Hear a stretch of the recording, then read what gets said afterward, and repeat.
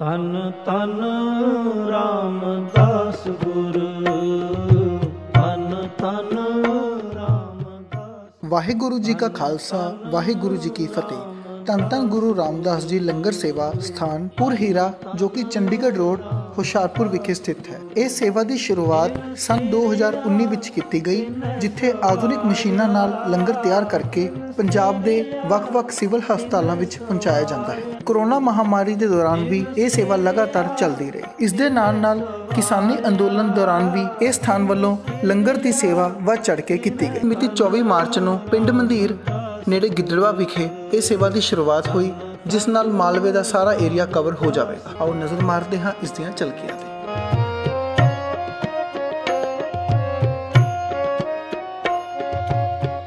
ਪੂਰੀ ਹੋਈ ਕਰਾਮਾ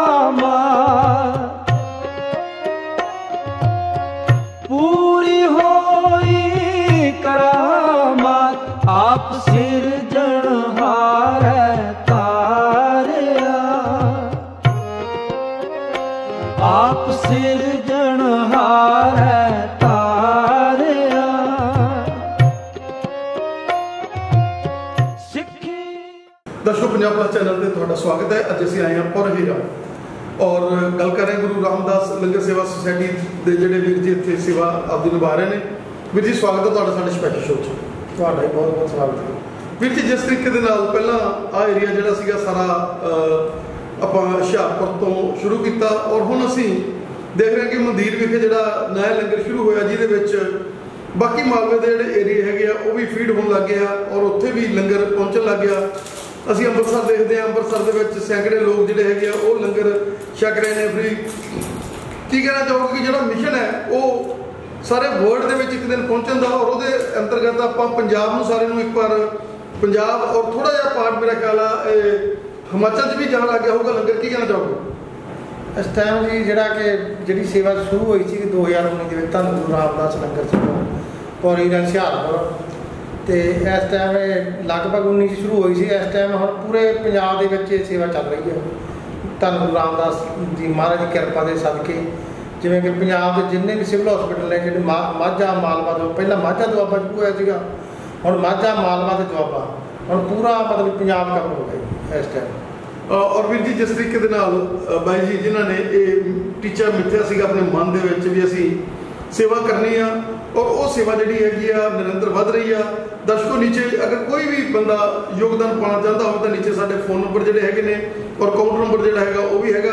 ਕਿਸੇ ਬੰਦੇ ਦਾ ਵੈਸੇ ਕੋਈ ਮਿਲਟਰੀ ਆਫੀਸਰ ਜਾਂ ਕੋਈ ਹੋਰ ਰਿਟਾਇਰਡ ਬੰਦੇ ਸਾਡੇ ਨਾਲ ਵੈਸੇ ਜੁੜਨਾ ਚਾਹੁੰਦੇ ਹੋਣ, ਉਹ ਵੀ ਜੁੜ ਸਕਦੇ ਆ, ਉਹ ਸਾਡੇ ਨਾਲ ਅਟੈਚ ਹੋ ਸਕਦੇ ਆ। ਕੀ ਕਹਿਣਾ ਚਾਹੋਗੇ ਬੋਲੋ ਦੇਖੋ ਜੀ, ਗੁਰੂ ਦੀ ਜਿਹੜੀ ਸੇਵਾ ਹੁੰਦੀ ਆ, ਕੋਈ ਵੀ ਸੇਵਾ ਹੋਵੇ ਲੰਗਰਾਂ ਦੀ, ਉਹ ਕੱਚ ਦੀ ਹੋਵੇ, ਇਹ ਸੰਗਤਾਂ ਦੇ ਸੰਯੋਗ ਦੇ ਨਾਲ ਹੀ ਚੱਲਦੀ ਹੁੰਦੀ ਆ।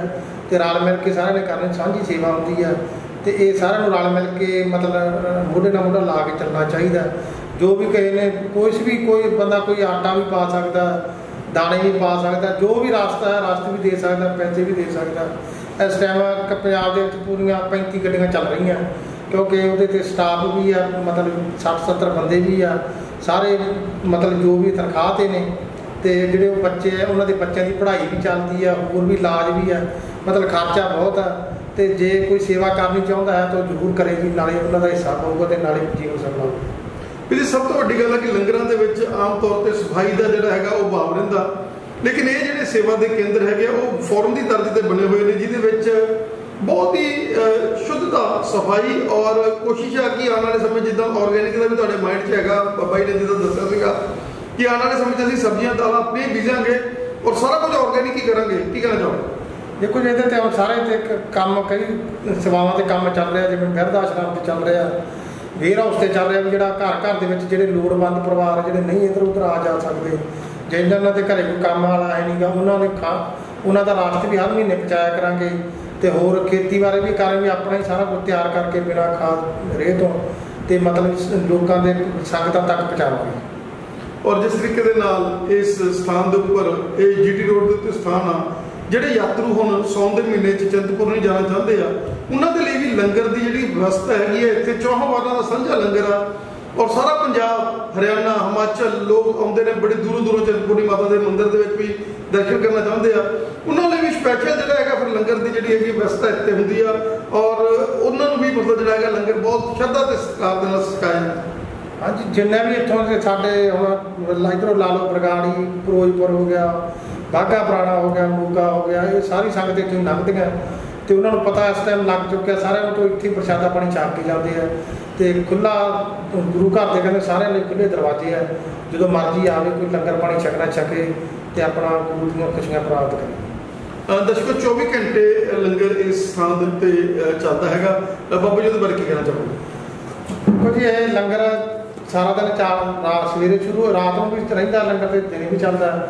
ਕੋਈ ਵੀ ਰਾਤ ਨੂੰ ਕੋਈ ਪਰਿਵਾਰ ਆਉਂਦਾ, ਲੋੜਵੰਦ ਆਉਂਦਾ, ਕੋਈ ਵੀ ਹਨੇਰਾ ਸਵੇਰਾ ਹੋ ਜਾਂਦਾ ਤੇ ਲੰਗਰ ਪਾਣੀ ਛਕ ਕੇ ਜਾਂਦੇ ਆ ਤੇ ਮਤਲਬ ਬੜੀ ਉਹ ਖੁਸ਼ ਵੀ ਹੋ ਕੇ ਜਾਂਦੇ ਆ ਤੇ ਗੁਰੂ ਦੇ ਘਰ ਦੇ ਦਰਵਾਜ਼ੇ ਖੁੱਲੇ ਹੁੰਦੇ ਆ।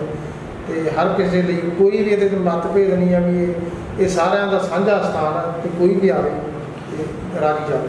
ਬਾਬਾ ਜੀ, ਕਰੋਨਾ ਦਾ ਕਹਿਰ ਸੀਗਾ ਜਿਹੜਾ, ਉਹਦੇ ਵਿੱਚ ਵੀ ਬਹੁਤ ਵੱਡੀ ਸੇਵਾਵਾਂ ਜਿਹੜੀਆਂ ਹੈਗੀਆਂ ਇਸ ਸੰਸਥਾ ਨੇ ਕੀਤੀਆਂ ਔਰ ਸਿੱਖ ਜਿਹੜਾ ਕਿਸਾਨ ਸੰਘਰਸ਼ ਸੀਗਾ, ਉਹਦੇ ਵਿੱਚ ਵੀ ਬਹੁਤ ਵੱਡੇ ਜਿਹੜੀ ਹੈਗੀ ਹੈ ਕੁਆਦ ਇਹਨੇ ਰਚੀ ਹੈਗੀ ਆ।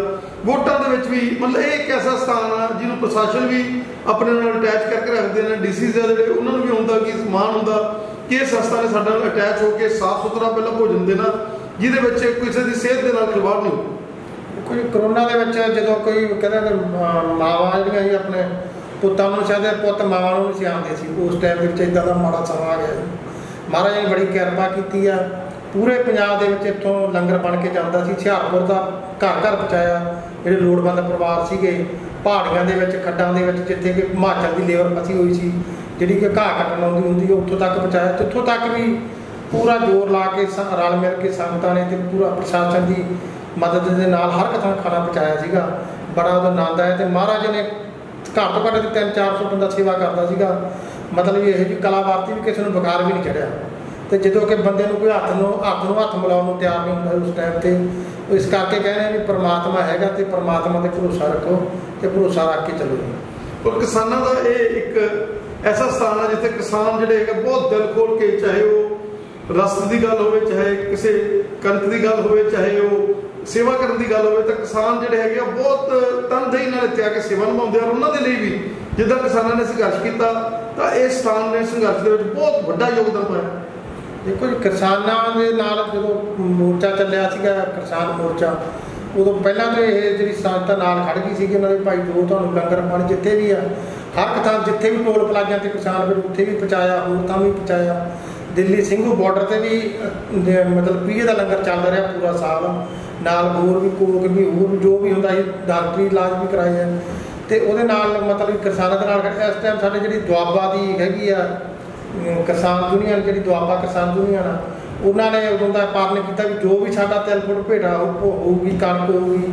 ਤੋਂ ਆਪ ਇਕੱਠੀ ਕਰਕੇ ਜਿਹੜੇ ਸਾਡੇ ਸੰਘਾ ਸਾਹਿਬ ਨੇ, ਹਰਪਾਲ ਸਿੰਘ ਸੰਘਾ ਜੀ, ਜਿਹੜੇ ਉਹ ਜਥੇਬੰਦੀ ਦੇ ਪ੍ਰਧਾਨ ਸਾਹਿਬ ਨੇ, ਉਹ ਆਪ ਕਣਕ ਇਕੱਠੀ ਕਰਕੇ ਲਿਆ ਕੇ ਇੱਥੇ ਮਤਲਬ ਦੇ ਕੇ ਜਾਂਦੇ ਨੇ ਟਰਾਲੀਆਂ ਭਰ ਕੇ।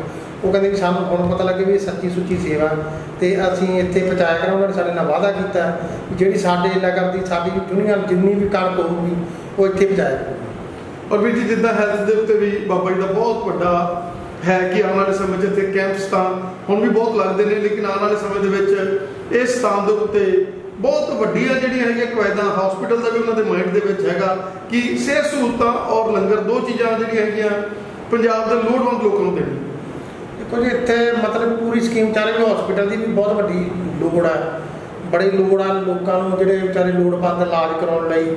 ਉਹਦੇ ਤੇ ਵੀ ਕੰਮ ਚੱਲ ਰਿਹਾ, ਮਤਲਬ ਵੀ ਉਹ ਸਾਰੀਆਂ ਜਿਹੜੀਆਂ ਮਤਲਬ 19 ਚ ਸ਼ੁਰੂ ਹੋਈ ਹੈ, ਤਿੰਨ ਕੁ ਸਾਲ ਹੋ ਗਿਆ ਜੀ ਤੇ ਮਹਾਰਾਜ ਕਿਰਪਾ ਕਰਨਗੇ, ਗੁਰੂ ਰਾਮਦਾਸ ਮਹਾਰਾਜ ਦੀ ਕਿਰਪਾ ਦੇ ਨਾਲ ਹੀ ਹੋਣਾ, ਸਭ ਕੁਝ ਜੋ ਹੋਣਾ। ਤੇ ਉਹ ਕਰਾਉਣ ਵਾਲੇ ਉਹ ਆਪੇ ਆ, ਤੇ ਉਹ ਵੀ ਜਲਦੀ ਮਹਾਰਾਜ ਕਰਨਗੇ, ਕਿਰਪਾ ਤੇ ਜਲਦੀ ਹੋ ਜਾਣਾ।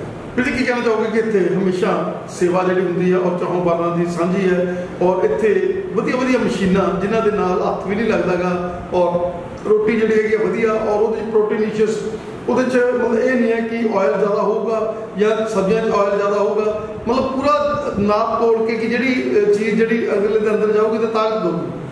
ਦੇਖੋ ਜੀ, ਪੂਰਾ ਇੱਕ ਨੰਬਰ ਇੱਥੇ, ਜੋ ਵੀ ਲੰਗਰ ਬਣਦਾ ਨਾ ਪ੍ਰਸ਼ਾਦਾ ਗੁਰੂ ਦਾ। ਕਹਿੰਦਾ ਗੁਰੂ ਦੇ ਲੰਗਰ ਦੇ ਵਿੱਚ ਕੋਈ ਉਦਾਂ ਦੀ ਗੱਲ ਨਹੀਂ ਹੋਣੀ ਚਾਹੀਦੀ, ਕੋਈ ਬੰਦਾ ਆਪਾਂ ਕਿਰਚ ਕਰੇ। ਗੁਰੂ ਘਰੇ ਕੋਈ ਘਾਟਾ ਨਹੀਂ ਗਾ, ਹਰ ਇੱਕ ਚੀਜ਼ ਵਧੀਆ ਕੁਆਲਿਟੀ ਵਾਲੀ ਵਰਤਦੇ ਆ। ਪੂਰੀ ਪੂਰੀ ਵਰਤਦੇ ਆ ਜਿਹੜੀ ਨਾ ਵੱਧ ਤੇਲ ਹੋਵੇ ਨਾ ਘੱਟ ਹੋਵੇ। ਖਾਣ ਨੂੰ ਸਵਾਦ ਲੱਗੇ ਕਈ ਤੇਲ ਵੱਧ ਪੈ ਜਾਂਦਾ ਤਾਂ ਵੀ ਨਹੀਂ ਅਗਲਾ ਖਾਂਦਾ। ਜੇ ਨੂਣ ਮਿਰਚ ਵੱਧ ਪੈ ਜਾਂਦਾ ਤਾਂ ਵੀ ਨਹੀਂ ਖਾਂਦਾ ਪਰ ਉਹ ਪੂਰਾ ਪੂਰਾ ਸੇਕ ਹੁੰਦਾ ਉਹਦੇ 'ਚ ਜ਼ਿਆਦਾ ਖਿਆਲ ਰੱਖਿਆ ਜਾਂਦਾ ਕਿ ਹਸਪੀਟਲਾਂ ਨੂੰ ਜ਼ਿਆਦਾ ਜਾਂਦਾ ਕਰਕੇ ਨਾ ਮਰੀਜ਼ਾਂ ਦੇ ਧਿਆਨ 'ਚ ਰੱਖਦਾ ਹੈ। ਉਸੇ ਤਰੀਕੇ ਨਾਲ ਇੱਥੇ ਪ੍ਰਸ਼ਾਦਾ ਬਣ ਕੇ ਆ ਕੀਤਾ ਜਾਂਦਾ। ਪਰ ਸਰ ਤੁਸੀਂ ਖੁਦ ਵੀ ਜਿਹੜੇ ਹੈਗੇ ਇੱਥੇ ਛਕ ਲੈਂਦੇ ਹੋ ਔਰ ਹਮੇਸ਼ਾ ਦੇਖ ਕੇ ਟੇਸਟ ਆਪ ਵੀ ਇਹ ਚੀਜ਼ ਕਿੱਦਾਂ ਬਣੀ? ਹਾਂਜੀ ਹਾਂਜੀ ਅਸੀਂ ਆਪਾਂ ਛਕਦੇ ਇੱਥੇ ਆਪਾਂ ਸਾਡਾ ਗੁਰੂ ਘਰ ਦੀ ਇੱਕ ਮਰਜ਼ਾਦਾ ਹੈ, ਜੋ ਪਹਿਲਾਂ ਤੋਂ ਬਣੀਆਂ ਹੈ ਕਿ ਪੰਗਤ ਦੇ ਵਿੱਚ ਲੰਗਰ ਛਕਣਾ ਸੀ, ਖੁਦ ਆਪ ਬਹਿ ਕੇ ਪੰਗਤ ਚ ਆਪ ਵੀ ਇੱਥੇ ਹੀ ਛਕਦੇ ਹਾਂ ਤੇ ਸੰਗਤਾਂ ਵੀ ਇੱਥੇ ਛਕਦੀਆਂ। ਥੈਂਕ ਯੂ ਜੀ। ਵਾਹਿ ਖਾਲਸਾ ਵਾਹਿ ਫਤਿਹ।